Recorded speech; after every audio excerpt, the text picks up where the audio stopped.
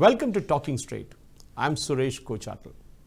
It's a well known fact that almost all of Malayalam news channels are anti Modi, anti BJP, and anti Hindu in that order.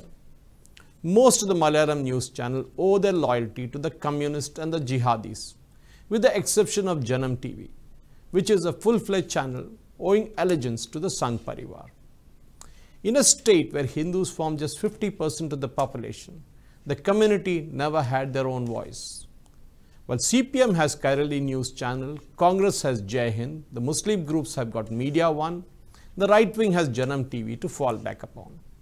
But what most individuals who masquerade as journalists in Kerala based Malayalam news channels have either a leftist or a jihadi ideology at heart. That clearly shows in the way they report the news or conduct the debates. Even Union Minister Rajiv Chandrasekhar's own Asianet news channel goes all guns blazing against Prime Minister Narendra Modi and BJP almost every day.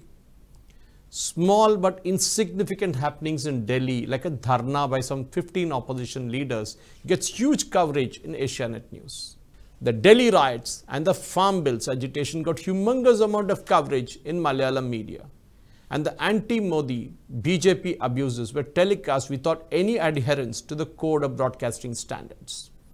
In fact, BJP spokespersons appear only in a couple of news channels in Malayalam, including Janam TV, while there has been an official boycott of all other channels, including Asianet News. Political commentators like Srijit Panikkar and T.G. Mohandas do a better job conveying the rightist point of view on news debates. Shajan Scaria of Marunadan Malayali is another outlier who stridently espouses the cause of Modi ji and BJP while taking up cudgels against the communists and the jihadis.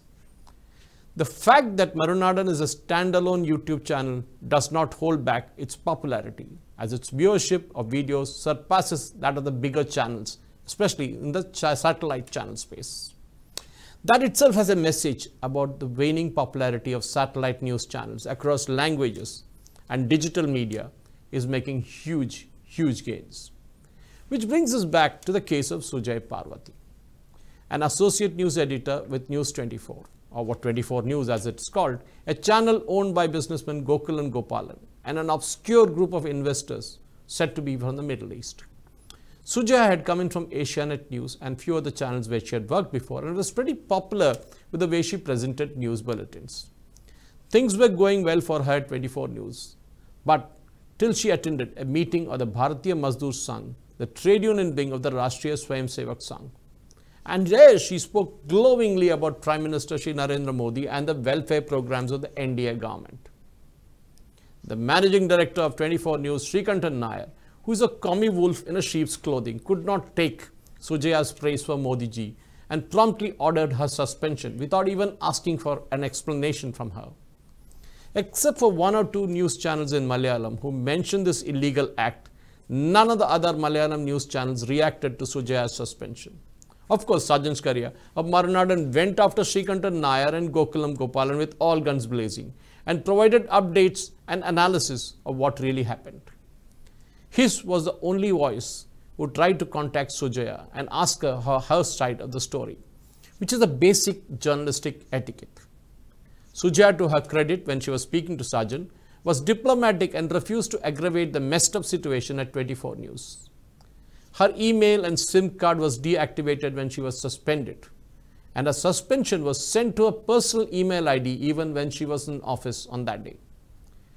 She took along, and once she was back, of course, she came back because suspension was lifted, and she came back with laddus for the staff members after her ban was lifted and went to those people who made her life miserable at 24 News. Despite staying back for over four days, she could not find her tormentors at 24 News as it simply disappeared. So what will Sujaya do now? She does not look like going to Janam TV as the situation out there is not conducive right now for a professional work culture due to the lack of management of the news channel. Well, rumors abound about her move into the active politics is doing rounds Sujaya is said to be headed to Reporter TV, another Malayalam news channel, which has seen an ownership change in the recent months. At the same time, Sujaya will stick to her affinity with the Sangh Parivar and is likely to address a few public meetings and seminars that are hosted by right-wing organizations. She did address a public meeting at the Thekkinkadu Maidan just outside the famous Vadakkunnathan temple in Thrissur, and a 30 minute speech was analyzed in detail by many political observers. It was a Hindu Aikyavedi event, and there was a huge crowd waiting to hear Sujaya, and she did not disappoint them. Narendra Bharatam is how she described the new India. Sujaya's unceremonious suspension and her eventual resignation is something that many journalists who are working for Telugu news channels should ponder about. She just threw the resignation on the face of Srikantan Nair and walked out after she was reinstated. How many journalists working in Telugu news channel will attend a function of a political party like RSS and still get to keep their job? Hardly any of them will take a risk doing that. Most news channels in Telangana are owned by business houses and have a loyalty to the party in power. Naturally, news or whatever one wants to call it will be loaded heavily in favor of the ruling party, as is happening in Telangana. Journalism in India is a profession that has fallen on its bad days. The professors who teach journalism are themselves a product of the leftist ecosystem that have infiltrated every nook and corner of our education system. Naturally, the students who enter the academic institution come out like zombies who are brainwashed into believing that Hinduism is evil and Manuvadi is responsible for the problem that are plaguing our country. Newsrooms have till recently been the personal fiefdom of leftists and are slowly witnessing a change. There is a strong pushback from the right to counter the left.